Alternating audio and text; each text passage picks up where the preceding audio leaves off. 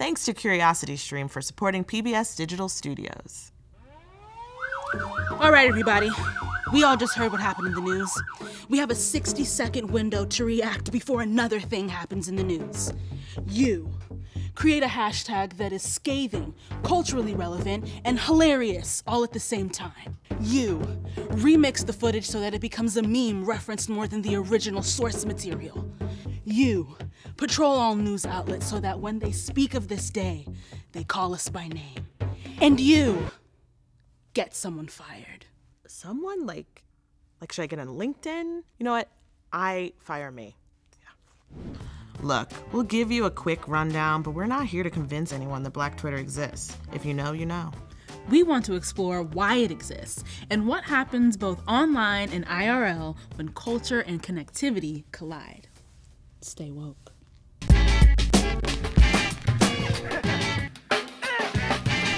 As far as Black Twitter's origins go, here's what we found.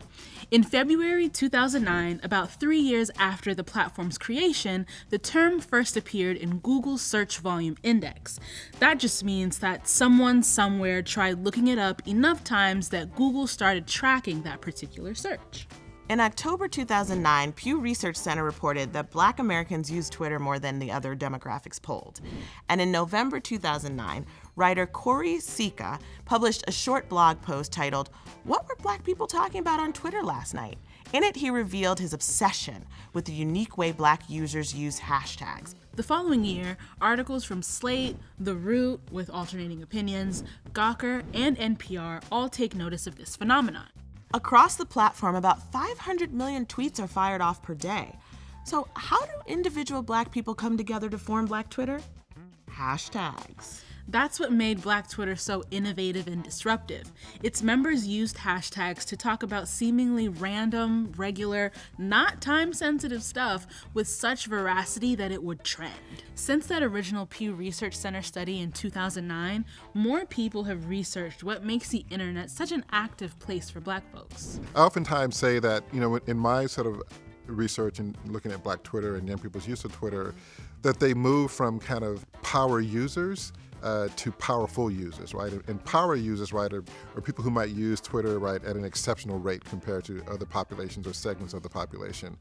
But powerful is something different, right? Powerful is sort of used in, in, a way to have social impact. And so, in that sense, I think as people begin to understand the potential that social media provides in terms of a, of a, of a tool for connecting, a tool for building, a tool for communicating, a tool for organizing, that they're beginning to understand, right, how to be powerful and not just power in terms of how they use the technology.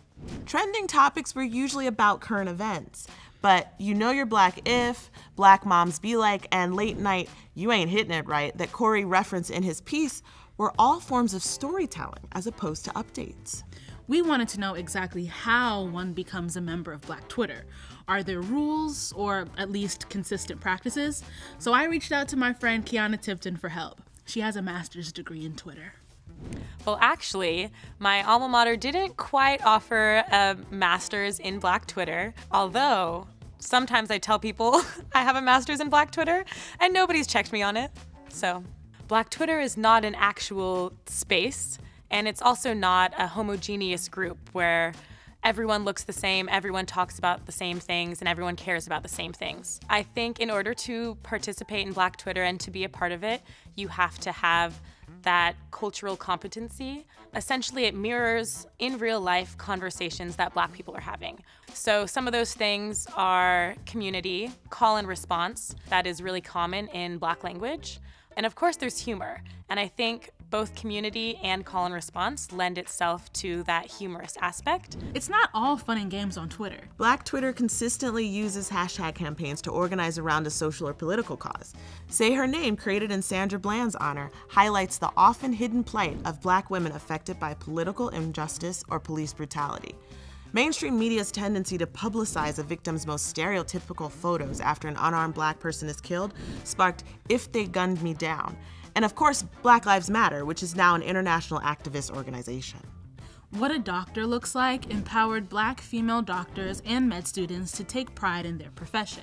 Black Twitter's hashtag campaigns can also be pointed at a specific person.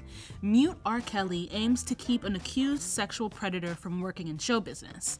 Me Too aims to highlight the frequency of sexual violence and harassment and is an example of a black activist initiative becoming widely used throughout the Twitterverse and larger culture. Take a look through Black Boy Joy and you'll find men and boys celebrating themselves and their right to be viewed as happy and carefree in a society that often pegs them as a threat. Search Black Girl Magic and you'll see women and girls celebrating the things that make them special and beautiful. Girls Like Us and Trans is Beautiful, both started by black women, made space for the diverse experiences and expressions of trans people. See?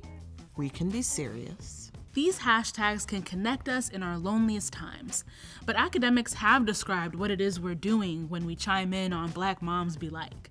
We're performing our racial or ethnic identities. Our fairy godfather, Henry Louis Gates Jr., academically coined the term signifying. It's an act that usually takes place in person, but Dr. Sarah Florini argues that online, in the absence of a physical body, black Twitter users perform their racial identity by using wordplay or references that only those with deep experience based knowledge of black US culture can recognize. A good example of this is Ask Rachel, where people posed a series of multiple choice questions to stump Rachel Dolezal, as if to say, if you were really black, you'd know this. Signifying is so second nature that it's hard to fake the funk. That's why we can always spot a perpetrator. You know those fake accounts. You know the ones. They got like five tweets from 10 minutes ago, and the slang they use is just off. Like Kendrick said, you sound like the feds, homie. We also participate in Black Twitter to create cultural capital. There's a sense of pride and elevated status associated with the ability to effectively execute a culturally significant piece of content, aka keep the retweets coming. I mean, that's why we get so hyped to add our two cents on a popular Black Twitter hashtag. We want to be part of a larger group, gain acceptance, and have our experiences affirmed by peers. And we do this in layers, adding visuals like GIFs, memes, video clips to create one big cultural inside joke. Your cultural capital can reach such viral heights that it should make some financial capital, like these guys. You can giggle at comedian Jaboukie Young White's jokes on Twitter and on the TV shows he now writes for and stars in. Author Luvvie Ajayi's live tweets during Scandal were legendary. Yes. And the pop culture commentator's first book has been optioned by Shonda Rhimes herself for development into a comedy series. Jay Versace brings joy to millions for free with his videos, and we want his creative genius in more commercial work. Shot us right. We'll link to some resources that tackle how black youth culture online is often exploited. I hope to never see a fast food chain tweet on fleek ever again. So we've invited Kiana here to help us analyze our tweets professionally, um, because we need to know if we are black twittering correctly, and that is your expertise, right? Yes, this is my dream day. So let's start with Az. When did you get on Twitter? I think I got on Twitter in 2009, Uh huh. but um, I just remember that I was just an egg. Oh yeah, you didn't Uh, have a photo. yeah, I didn't have a photo. I didn't know, and I and I wrote, "Is this thing on?" I think I started mine in 2013? 2007, and I didn't know what I was doing either. I think you have to have you have to cultivate that community and friend group. So it's kind of like a group chat. Because until you have that, it's like I'm talking to myself. Yeah, I didn't get the point. Yeah, so I was really mad about, uh, you know, this college acceptance scandal. So I started talking about how I got into college and how it was really hard. Let me tell you something. Almost any person of color who's in college or university beat generational layers of instability and po- poverty to get there. Even if they were middle class, they were statistically speaking one mistake away from losing everything. Guys, I was having a moment. This is intense. And It's a 50 thread. retweets. You're How real many? Popular. 50. Oh, that's popular? Okay. Thanks. There's a call and response element to it. So there's something going on in the news, and you are talking about that in a way that a lot of other black people will relate to. And you can see that through how many retweets you got.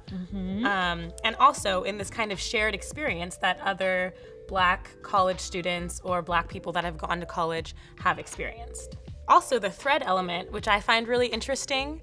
um, is something that Twitter added several years after creating the platform, kind of to be able to facilitate conversations in a way that mirrors offline conversations. Okay, let's see what my most retweeted tweet is.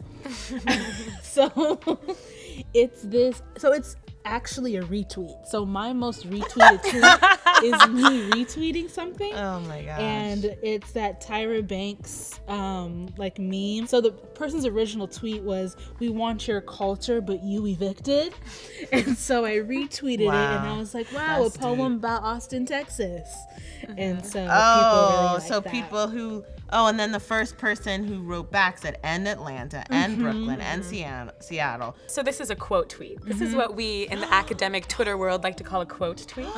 This is Love also it. a newer edition um, Mm-hmm. from Twitter. Originally, they didn't allow you to do this. You could retweet what someone else said, or you could add to it, but you couldn't add on on top of that tweet. So Oh, this right. is something that's um, probably within the last five or six years. Um, but it's another way that they have changed the actual interface and algorithm of the platform to facilitate conversation conversations in meaningful ways. But what is funny about this, and also kind of like mimics the way that Black people have conversations, is that you have this tweet that's funny, and then it's like you're kind of adding on to it. Yeah. Like, let me make this funnier. So thanks, Kiana, for going down memory lane with Yeah, us and exploring our tweets. We will continue to black Twitter to the best of our abilities and not get dragged, hopefully, in the future for saying dumb stuff.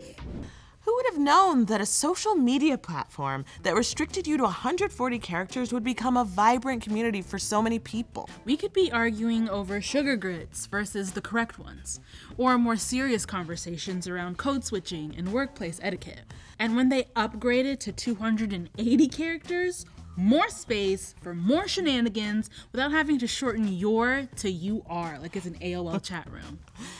TBT, y'all. Whether it's used to demand political change, help people find community, or just make us cackle uncontrollably, Black Twitter has value. And of course, we're scared of getting dragged by Black Twitter. Ah, did I just delete my tweets from 2010? Possibly. In that way, Black Twitter keeps us responsible, always thinking about the implications of what we say. And if we ever need anything from a laugh to a full on takedown, we know who to call.